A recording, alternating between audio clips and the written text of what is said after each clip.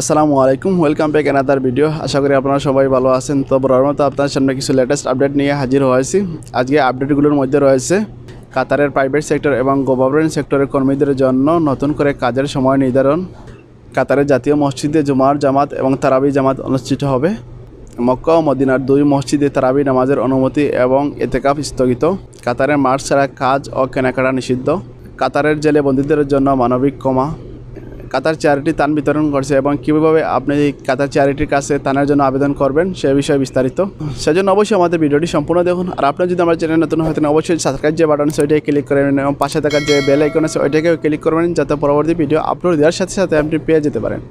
আর যারা বন্ধু অলরেডি আমাদের চ্যানেলটিকে সাবস্ক্রাইব করেছেন, তাদেরকে অসংখ্য ধন্যবাদ।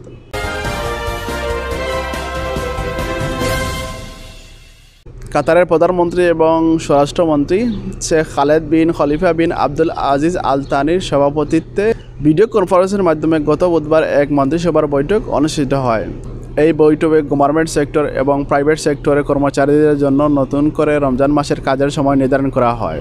গভর্নমেন্ট সেক্টরে কাজের সময় নির্ধারণ করা হয়েছে প্রতিদিন চার ঘণ্টা অর্থাৎ সকাল নয়টা থেকে দুপুর একটা পর্যন্ত এই চার ঘণ্টা প্রতিদিন তাদের কাজের সময় নির্ধারণ করা হয়েছে।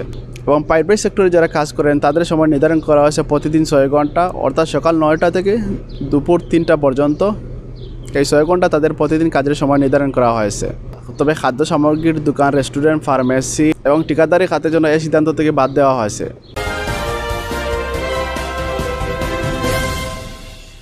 ওয়াকাফ কাতার এক বিজ্ঞপ্তিতে জানিয়েছে, পবিত্র রমজান মাস জুড়ে কাতারের সমস্ত মসজিদে জামাতের নামাজ, জুমার নামাজ, তারাবির নামাজ বন্ধ থাকবে।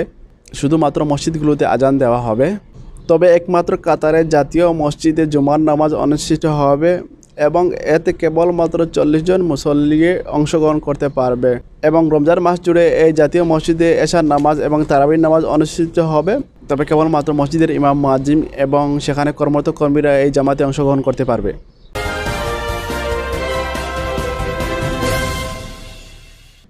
পবিত্র মক্কা নগরীর মসজিদুল হারাম এবং মদিনার মসজিদ নববীতে তারাবির নামাজের অনুমতি দিয়েছে সৌদির বাদশাহ সালমান বিন আব্দুল আজিজ। মঙ্গলবার সৌদির বাদশাহ এই আদেশ দিয়েছেন বলে জানা গেছে সংবাদ মাধ্যম মিরল ইস্টল মনিটর। বুধবার মসজিদুল হারামের প্রধান ইমাম ও হারামাই শরীফের প্রেসিডেন্টের প্রধান Sheikh Abdur Rahman Al Sudais এক টুইট বার্তায় বলেন, সৌদি কর্তৃপক্ষ দুটি পবিত্র মসজিদে তারাবির নামাজ এবং তাজুদের নামাজ বহাল রাখার সিদ্ধান্ত নিয়েছে, তবে এতে মুসল্লিরা অংশ নিতে পারবেন না। এবং পাশাপাশি রমজান মাসের শেষ দশ দিনে এই দুই মসজিদে কেউ এতে কাপে অংশ নিতে পারবেন না। সৌদি ভিত্তিক সংবাদ মাধ্যমে আল সুদাইসি জানান, মসজিদে যারা কাজ করেন বা মসজিদে যারা দেখভালের দায়িত্বে আছেন, তারা শুধু এই তারাবির নামাজ অংশ নিতে পারবেন। করোনা ভাইরাসের বিস্তার ঠেকাতে আঠারোই মার্চ থেকে সৌদি আরবে সকল মসজিদে জামাতে নামাজ বন্ধ করা হয়েছিল।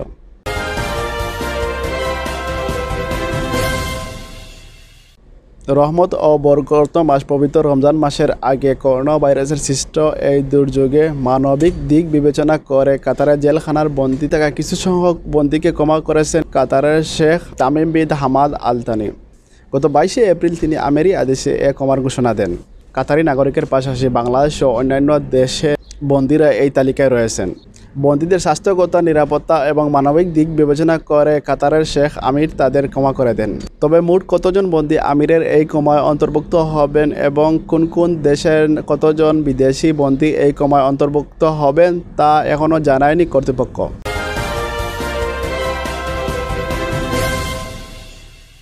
কাতারের মন্ত্রী পরিষদ গত বুধবারে এক বৈঠকে সিদ্ধান্ত নিয়েছে যে মুখে মাস্ক ব্যবহার করা ছাড়া কাতারে কোনো মার্কেটে কেনাকাটা করার জন্য প্রবেশ করা যাবে না। পাশাপাশি মাস্ক ছাড়া কোনো শ্রমিককে কনস্ট্রাকশন খাতে কাজ করতে দেওয়া হবে না। এমনকি যারা সরকারি এবং বেসরকারি অফিসে সেবা খাতে চাকরি করেন, তাদের জন্যই মাস্ক ব্যবহার করা বাধ্যতামূলক করা হয়েছে। আগামী ছাব্বিশে এপ্রিল রবিবার থেকে এই সিদ্ধান্ত কার্যকর করা হবে। কাতারের বিভিন্ন অফিসে যারা নানান কাজের জন্য যাবেন, তাদেরকেও মাস্ক ব্যবহার করা ছাড়া ভিতরে প্রবেশ করতে দেওয়া হবে না। নির্মাণ খাতে শ্রমিকদের জন্য মাস্ক সরবরাহ করবে তাদের কোম্পানি। যারা এই নিয়ম ভঙ্গ করবে, তাদের বিরুদ্ধে সতেরো নং আইন অনুসারে ব্যবস্থা নেওয়া হবে। সেক্ষেত্রে নিয়ম ভঙ্গকারীর বিরুদ্ধে তিন বছরের জেল এবং দুই লাখ কাতারের রিয়াল জরিমানা হতে পারে।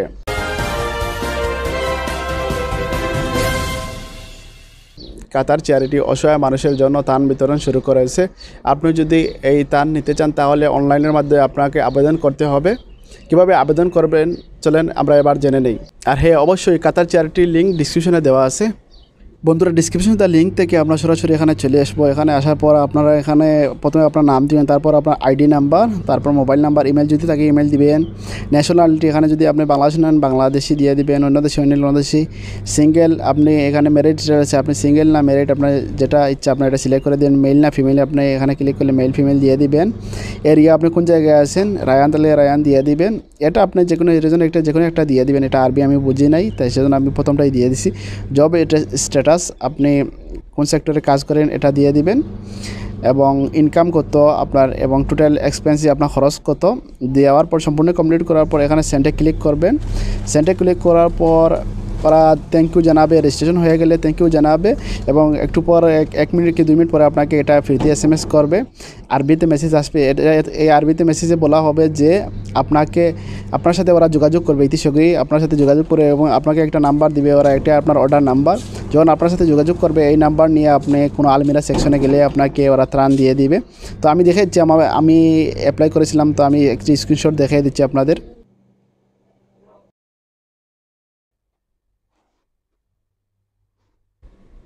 বন্ধুরা, এই ছিল আজকের ভিডিওটি। যদি ভিডিওটি ভালো লাগে, অবশ্যই ভিডিওতে একটা লাইক দিবেন এবং কমেন্টে আপনার মতামত দেবেন।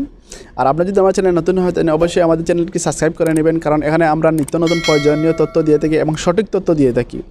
সেজন্য অবশ্যই আমাদের চ্যানেলকে সাবস্ক্রাইব করে আমাদের সাথে থাকবেন এবং সাথে থাকা যে বেল আইকন আছে ওইটাকে ক্লিক করে নেবেন, যাতে পরবর্তী ভিডিও আপলোড দেওয়ার সাথে সাথে আপনি পেয়ে যেতে পারেন। বন্ধুরা, দেখা হবে অন্য কোনো নতুন ভিডিওতে এ পর্যন্ত ভালো থাকুন, সুস্থ থাকুন। আল্লাহ হাফিজ।